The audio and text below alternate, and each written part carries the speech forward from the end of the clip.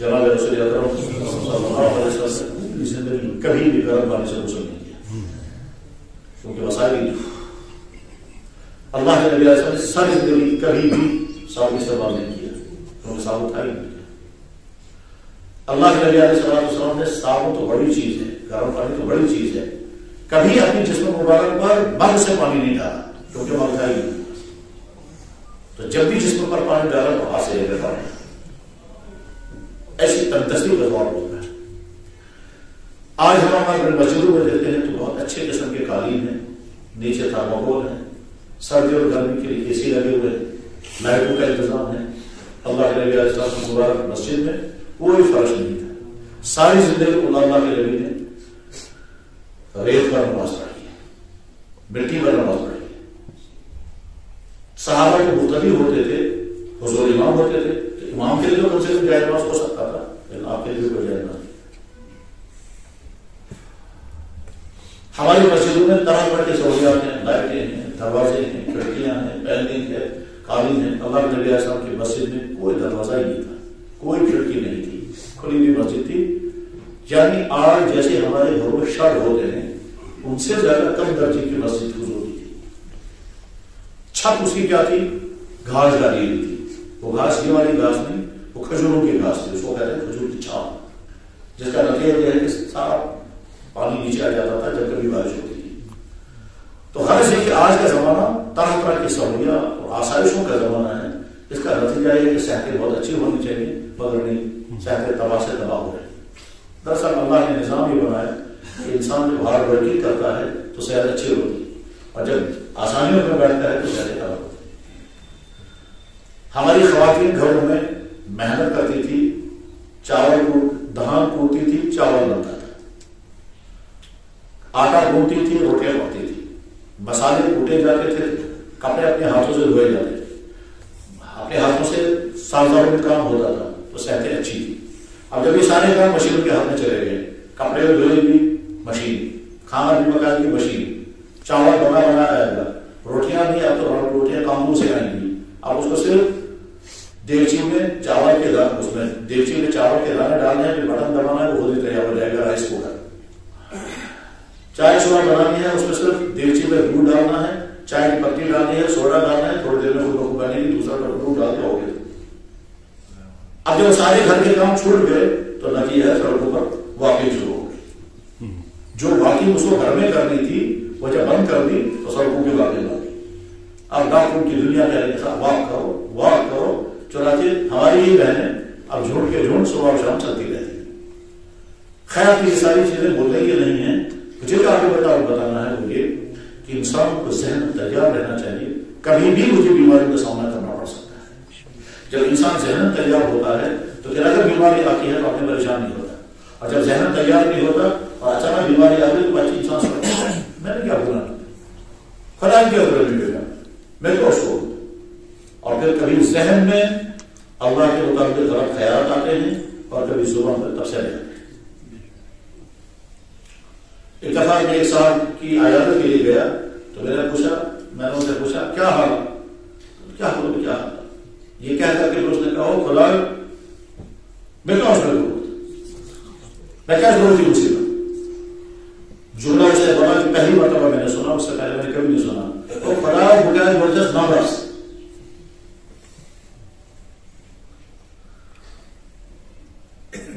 एक साहब ने हाँ शायद एक साहब ने उनसे कहा चलो अल्लाह ताला तुम्हें शिफा कर दे तो मुझे बशर में शफा जो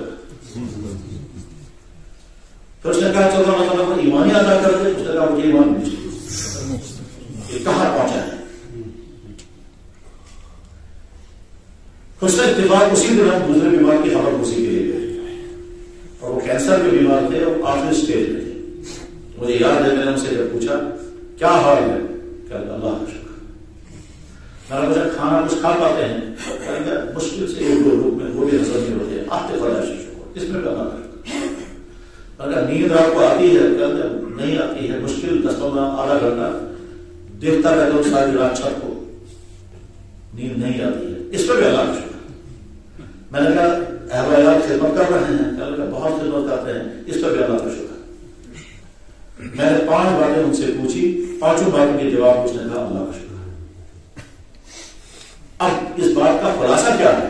तो जवाब, बीमारी झेलने के लिए जहन तैयार रहना चाहिए। यह तस्वुर नहीं करना चाहिए कि सारी ज़िंदगी शहर के हालत में गुजारूँगा नहीं ऐसा नहीं जब अल्लाह की नबी को तकलीफ़ आई, बीमारी भी आई, आपको जहर भी दिया गया। आप पर जादू भी किया गया, आप पर हमला भी हुआ, आप जख्मी भी हुए, अपने हाथ से भी गिर गए खुद गिर गए घोड़े से। एक अहम तरीन काम में आप घोड़े के प्रचार करके मदीने को मुआयना कर रहे थे तो उसी में आप एक बाढ़ के अंदर से तेज़ी से गुजरे और घोड़ा तेज दौड़ रहा था, इसलिए आपके मुबारक टांग दरख्त से टकरा गई और आप नीचे गिर गए और सारी जख्मी हो और एक महीने तक घोड़े बैठे रहा। अब ये सारे हालात हमारी ज़िंदगी पर गुजर गए तो कौन दुनिया के इंसान है जो सोचेगा कि सारी ज़िंदगी में गुजारो के साल में मुझे कोई तकलीफ़ ही हो नहीं। तकलीफ़ आई। अब जब तकलीफ़ आएगी तो हमारी ज़िम्मेदारी क्या है? हमारी ज़िम्मेदारी है, जो हमारे बस में है अच्छा सा इलाज करना। जो बस में है, जो बस से बाहर है, वो इलाज नहीं करना है। ये बस से बाहर इलाज नहीं करना का मतलब क्या है? इतना महँगा इलाज अपने सर पर डाल दें कि लाखों में खर्च हो जाए और में बीमारी बन उसको कश्मीरी लोग कहते हैं जेम के लिए वेल चलो हमारे सामने ऐसे वाकत हैं कि लाखों में खर्च हो गए और बाद में पेशर कश्मीर दिया बचा दिया इस्लाम ने इलाज का हुक्म दिया है, मगर अपनी माली कुशन के अंदर ही। ऐसा नहीं कि साहब, यही सदर शहर में दो फैमिली के डॉक्टर थे, जो शौहर थे हस्बैंड वो बीमार हो गए, कुछ खतरनाक बीमारी हो गई तो बीवी भी चूँकि उसी शौबे से थी, उसने कहा, कुछ भी हो जाए, मैं इसका इलाज करूँगी, मैं नहीं दूँगी। तो आप जेवर भी बेचा मकान भी बेचा, गाड़ियाँ भी बेची, और ये सारा खत्म हो गया और बचा हो अब कुछ भी नहीं बचा। इलाज हमें करना है उसी दायरे में रहकर जो हमारी माली गुंजाइश है। उससे आगे नहीं। ये नहीं है कि साहब हम अपने मकान बेच करके, प्रॉपर्टियाँ बेच करके, जीपी फंड निकाल करके पेशेंट को लेकर पहुँच के चंडीगढ़ हो गए और उसके बाद फिर पेशेंट के लाश आए, न घर रहा न हुआ है इलाज उसी दायरे में है ये मैं बहुत अहम तरीन नुकता समझा रहा हूँ, एक मरतबा डॉक्टरों और बड़े उलमा का सेमिनार था और उसमें बहस इस पर थी कि वेंटिलेटर कब तक लगा सकते हैं। क्योंकि तो वेंटिलेटर लगा कर रखेंगे तो खर्चा बहुत आएगा। हटाएँगे तो आदमी मर जाएगा। तो घर वाले पूछते हैं, वेंटिलेटर कब हटाएँगे? अगर हटाएँगे तो मर जाएगा। और लगा करके रखेंगे तो जब आप एक एक दिन का तीस तीस चालीस चालीस हज़ार रुपए प्राइवेट वेंटिलेटर में लगेगा तो चंद दिनों में आदमी स्वास्थ्य पड़ा जाएगा। तो क्या करेंगे? तो हमारी ज़िम्मेदारी है इलाज। वह अपनी वायु दायरे में दूसरी ज़िम्मेदारी है खिदमत ये घर वालों की ज़िम्मेदारी ये अहम तरीन मामला है ऐसा नहीं होना चाहिए कि घर में बीमारी तवील हो गई और घर वाले उकता गए और बाद में कश्मीरी लोग कहते हैं मैं पड़ा तो आलम ठीक तो आलम ठीक मतलब क्या होता है वह वही चित्र माना लपेट कर बात कहते हैं अभी मरना ही उकताना नहीं है हिम्मत बरकरार होनी है अब अंदाज़ा करें एक शख्स बीमार हुआ। बीमार क्या हुआ? नौजवान थे, वो गिर गए या एक्सीडेंट हो गया सुपर कार्ड कर दिया। ये जवान की ज़िंदगी में थे, जो नशे में एमए कर रहे थे। आप जब बैठ पर आ गए सुपर कार्ड कर दिया। आप जानते हैं कि सुपर कार्ड का इलाज नहीं होता है। बैठ पर उसी बैठ पर उन्होंने एमए मुकम्मल किया। उसी बैठ पर उन्होंने थीसिस भी की। वो ऑक्सफोर्ड भेजी और वहाँ से ओके हो गए। उन्हें डॉक्टरेट की डिग्री आ गई। इसी बेड पर बैठकर उन्होंने किताबें लिखी। मारिफुल हदीस हदीस की किताब है, उसका इंग्लिश में ट्रांसलेशन किया, खुद उर्दू में किताबें लिखी, उनकी अंग्रेज़ी में लिखी हुई किताबें न्यूयॉर्क में छपी, बयालीस साल वो विस्तार उनके घर वालों ने कहीं भी शिकायत की अल्लाह क्या मुसीबत आ तो इतनी तवील बीमारियाँ झेलने वाले दुनिया में पाए गए, और उनसे जब मुलाकात करने के लिए लोग जाते थे, बहुत बड़े बड़े लोग जाते थे। तो उन बड़े लोगों में से हज़रत मौलाना सैयद गोल हसन अली नजदी रहमतुल्लाह ने मजमून लिखा जब उनकी वफात हो गई।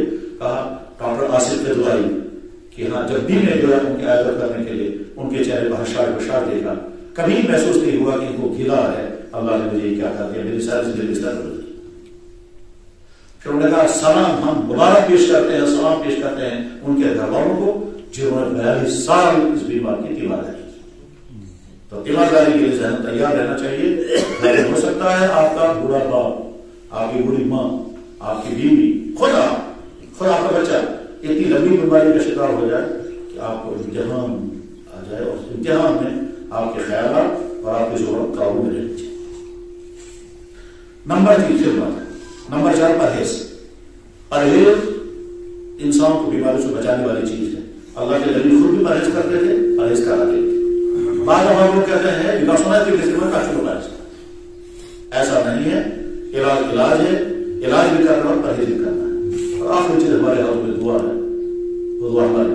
इन चार पाँच कामों के बाद जहन तैयार रहना चाहिए या तो हमारे बस में था हमने किया। अब आपका फैसला जो भी आएगा, हम उसके जहन तैयार अगर आपका फैसला हमारी चाहत के खिलाफ आए तो चूँकि आप मालिक हैं, अगर आपने तय कर दिया इसको मुझे वापस लेना है, हम उसके जहन तैयार हैं। ये वो पॉइंट है वो नुकता है कि अल्लाह के नबी सलाम की गोद में खुद उनका मासूम बच्चा है। आपके आँखों से आँसू गिर रहे हैं और बच्चे की जान रही जब बच्चे की जान निकल रही थी आपके गोद में था और आपके आँखों से आँसू गिर रहे थे। जब अल्लाह के नबी के आँसू गिर रहे थे तो अल्लाह को ताकत थी ना कि बच्चे की जान वापस कर देते। मगर नहीं, कौन कौन है? आपको वापस बच्चा वापस आना है, आएगा। अठारह महीने का बच्चा था, उसका नाम था इब्राहिम। इब्राहिम और अजीब इतफाक ये हुआ कि जिस दिन इब्राहिम की वफा हुई, उसी दिन सूर्य ग्रहण हो गया। तो फिर आज खबर कर दी कि जैसा नबी का बेटा बस इसलिए सूर्य में हो रहा और ग्रहण इसी वजह से होगा बच्चे की वजह से। तो अल्लाह ने किसी के मरने से सूरज ग्रहण नहीं होता है सूरज ग्रहण का अल्लाह ने अलग निज़ाम बताया इन शम्स और कमर आया था आया आतन फसबू ये बहुत ही अहद ये बुखारी में है। सूरज जो चाँद अल्लाह के मखलूक है, किसी के मरने से सूरज ग्रहण नहीं होता है। और ना कह सकते हाँ मेरा बेटा वफात पा गया। सारी कायदा, निज़ाम, धर्म भरम हो गया सूरज भी सूरज ग्रहण भी हो गया। मौत अपने वक्त पर आती है। मौत का ताल्लुक न बीमारी से है। मौत का ताल्लुक न एक्सीडेंट से है। मौत का ताल्लुक न कोविड से है। मौत का ताल्लुक टाइम के साथ टाइम आ गया तो इंसान को जाना है। टाइम नहीं आएगा तो रहेगा। जब इस कंसेप्शन के साथ इंसान रहेगा इसको कहते हैं ईमानी सोच। इस ईमानी सोच के नतीजों के आदमी कम से कम उतना परेशान नहीं होगा जितना परेशान उस वक्त होता है जब ईमान सोच कमज़ोर आपको ये सुनकर ताजुब होना चाहिए और इस सिलसिले में आपकी मालूम हमसे ज़्यादा होगी कि जब दुनिया में खुदकुशी करने वालों का रेशो देखते हैं तो मुसलमान खुदकुशी सबसे कम करते हैं, दूसरी कौमें ज़्यादा करती है। मुसलमान को खुदकुशी से कौन रोकता है? अपनी तकदीर जो अल्लाह ने लिखा वो होगा। और जब हो जाता है तो ये खुदा का लिखा हुआ तो लेकिन जिसके पास अकेले तकदीर नहीं है अगर दुनिया में खुदकुशी करने वालों के हालात लिखे जाए, किसने क्यों तो गैर मुस्लिम की तादाद ज़्यादा होती है? मुसलमान क्योंकि उनके पास अकीदे तोहीद नहीं, उनके पास अकीदे आखरत नहीं, उनके पास अकीदे तकदीर नहीं। और मुसलमान के पास अकीदा अकीदे तकदीर उस मरहले पर बचा देता है, जिस मरहले को और कुछ चीज़ नहीं बचा पाती है। इलाज करते करते थक गए और अचानक बीमार मर गया। तो लास्ट में कहते हैं, आप आ जाए मोह आपको सही बस ये बात खत्म हो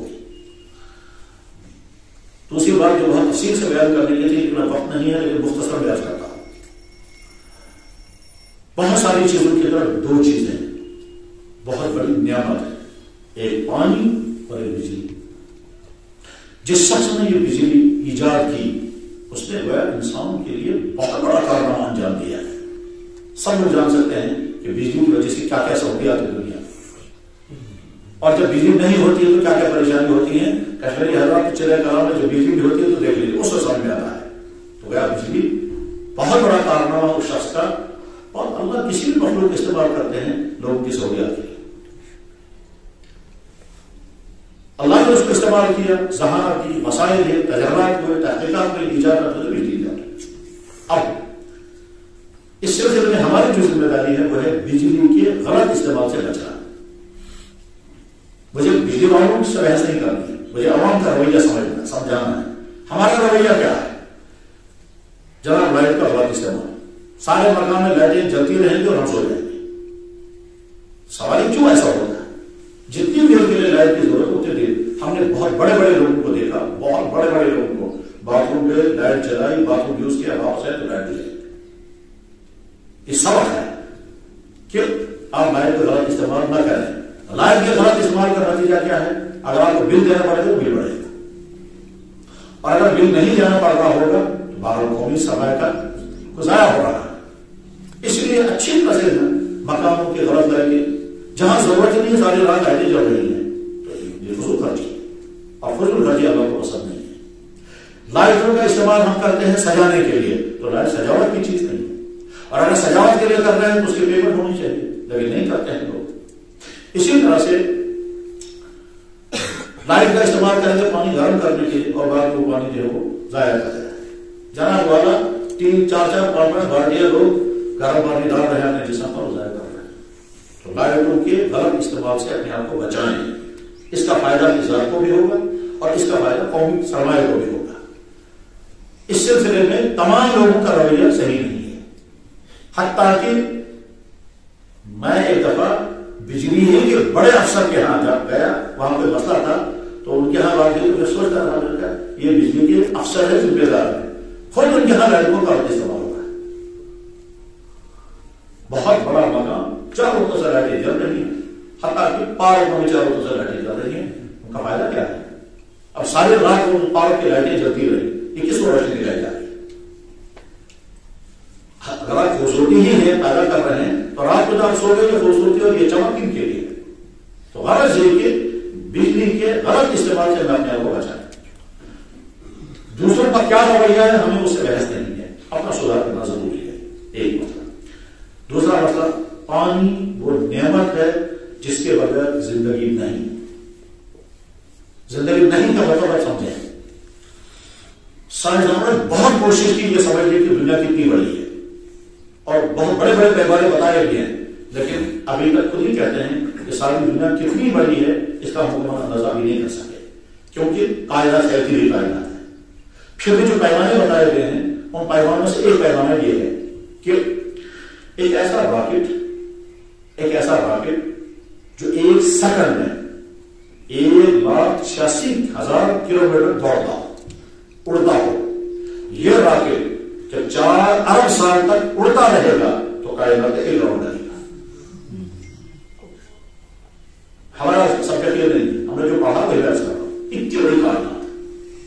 इस इतनी बड़ी कायनात में अल्लाह ने ज़िंदगी गुजारने का सिस्टम सिर्फ़ ज़मीन पर रखा है, वो कहीं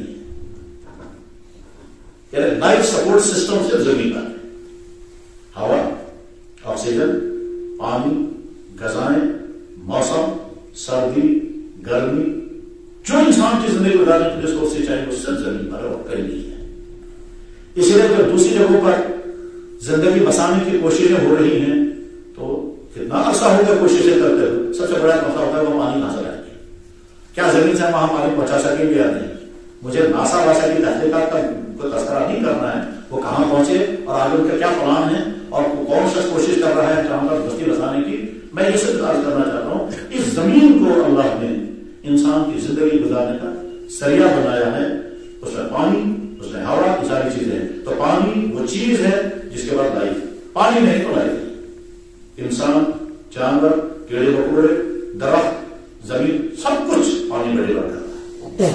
तो पानी बहुत बड़ी नियमत है। इस पानी के साथ दुनिया के तमाम इंसान जो जुल्म करते हैं, वो बदतरीन जुल्म है। उसमें तरक्की याफ्ता कौमें भी हैं? आसमानदार लोग भी हैं। पढ़े लिखे लोग भी हैं। आम इंसान भी हैं। हत्या की दीदार। दिनदारों का हाल भी है। नल का खोले के वज़ू करते रहेंगे, पानी गिरता रहेगा ब्रश करते रहेंगे, पानी गिरता रहेगा मिसवाक कर रहे हैं पानी जा रहा है। हम पानी इस्तेमाल करने का हक तो रखते हैं। पानी जाया करने का हक नहीं आगे बोलते आती है पानी पीने के लिए। आधी बोतल भी, आधी बात होती बाद में लोग ट्रैक्टर फेंक देते हैं। आप गौर करें, ये पानी जो आपने वाटर बोतल खरीदी है, ये चाहे बीस रुपए की है, तीस रुपए की आपका पैसा खर्च हुआ इसका और ये कीमती पानी है। आप उसको जाया कर पानी के जाया करने के इतने दर्दनाक मंजर सामने आते हैं कि आदमी हैरान होता है, लेकिन एहसास ही खत्म हो चुका है। और नल का खुला छोड़ती है मजदूर को मांगती देती यहाँ कश्मीर में पानी का जो सोर्स है, पूरे वर्ष अभी ऐसा नहीं पूरे वर्ष अभी मैंने अच्छी तरह से जो आगे पढ़ा। और ज़मीन में कहाँ कहाँ क्या क्या होता है सारा पढ़ने के बाद, ये बात तय है कि जितना उमदा पानी इस कश्मीर में है इतना मीठा इतना सुटेबल इतना सेहत अफसर नहीं है कहीं। लेकिन हमारा रवैया इस पानी के साथ जालिमा बदतरीन जालिमा। है वेरीनाथ चश्मा निकलता है, वहाँ बीमार पिएगा उस पानी को तो सेहतियाब हो जाएगा। जब हमारी बस्तियों से गुजरता है तो आगे चलकर इस पानी की हालत होती है कि साहब यही पानी हमारे खेतों में लगता है तो जो चीज़ें वहाँ पैदे होती हैं, वो सेहतमंदी को बीमारी लेकर यही पानी हमारी सब्जियों को, फलों को, दरख्तों को, अनाजों को लगता है तो हम सारा ड्रेनेज इसी पानी में डाल रहे। सारे होटलों का ड्रेनेज इसी पानी में। डल के अंदर एक जमाने में तीन सौ किस्म की मछलियाँ थी आज से तीन किस्म की मछलियाँ रह गई बाकी सब सुनो। वजह ये सारी लोग इसी डल में जाए पानी के गलत इस्तेमाल से भी बचना है पानी को जाया करने से भी बचाना है पानी में गंदगी डालने से भी अपना और पानी। इस कदर जुल्म है कि लोगों को पीने को पानी ना मिले और हम अपनी गाड़ियों को भी पानी से धोएँ, अपने पार्कों को भी, अपने पाकों को भी। नल का खुला छोड़ते हैं, जया होता रहता है। बल्कि बाद दफ़ा पीने का पानी। इस्तेमाल कर रहे हैं हम जूते धोने के लिए और पाक धोने के लिए। बल्कि बाहर भाइयों को तो देखा अपने घर से देख करके बाहर सड़क तक पानी बाहर देखना चाहिए उन लोगों को, उन कौमों को जिनके जो पानी के कतरे कतरे के लिए तरसते अल्लाह के नबी सलाम ने पानी जया करने से मना किया और जब इस सहाबी को देखा कि वो पानी थोड़ा सा ज़्यादा इस्तेमाल कर रहे हैं तो आपने फरमाया वह हुकुम ताला जारी। अगर तुम बहते हुए पानी में वज़ू कर रहे हो, तभी वहाँ वज़ू खर्चे मत खुद अल्लाह के नबी इतने पानी से वज़ू करते थे, जितना हमारा गिलास होता है। हम पढ़ते थे हदीसों में तो समझ में नहीं आता था, एक गिलास पानी से कैसे वज़ू होगा?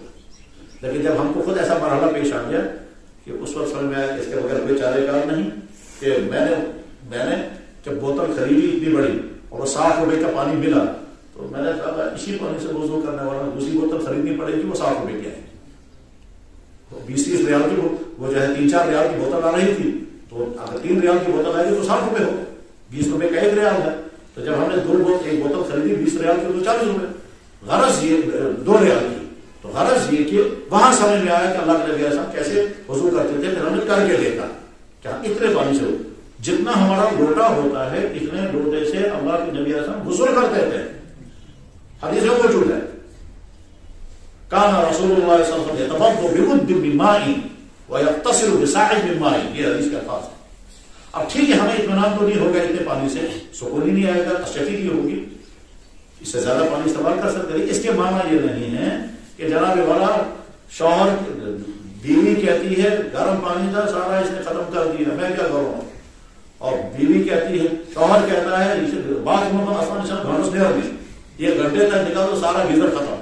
फजूल पानी के फजूल खर्ची से बचाना चाहिए, पानी के जाया करने से बचना चाहिए, पानी के अंदर आलूदा हो, पानी का आलूदा करने से अपने आप को बचाना चाहिए और इस टॉपिक को मैं खत्म कर रहा हूँ पर अल्लाह के तीन ऐसी चीज़ों से बचो जिनकी वजह से तुम पर लानत आए तीन ऐसी चीज़ों से बचो जिसकी वजह से तुम पर लानत आएगी। अलमरा इन सलासा। तीन ऐसी चीज़ों से बचो जिनकी वजह से तुम पर लानत आएगी। से बहते हुए पानी के अंदर पेशा कर। बहते हुए पानी के अंदर पाखाना डाल। दरख्त का फलदार दरख्त के नीचे पाखाना कर। और सड़क के ऊपर पाखाना अलबराज तरीक और फिर जिंद शजर, और फिर माँ। यह हदीस के अल्फाज पानी में पाखाना हम तो सारा औरतें, हमारी बच्चों के डायपर। रोज़ाना ढेर जमा होता है। डालो मकान बनना है ड्रेनेज पानी पाखाने के सारे करोड़ों का पानी उसी, पानी में जाता है। यही पानी आगे चल करके हमें या अरबी कौम को जब मिलता है तो वह हम जहरीला पानी उनको भेज रहे हैं। यही वजह है कि आज की गजाएँ वो फ़ायदा नहीं पहुंचाती है जो फ़ायदा, क्योंकि वो गंदे पानी से सैराब इसी को कहते हैं माहौलियात जब हम माहौलियात की बात करते हैं तो मतलब यही है, पानी साफ़ होना चाहिए। हवा साफ़ होनी चाहिए, फिजा साफ़ होनी चाहिए गजाएँ साफ़ होनी चाहिए। अब जब हम गंदे पानी से वो गजाएँ उगाई गई है तो साफ़ कैसे करेंगे? बहरहाल, बिजली के गलत इस्तेमाल से अपने आप को बचाना चाहिए और पानी के जाया करने से और पानी को आलूदा करने से अपने आप को बचाना चाहिए। वाह अलहमदिल्ला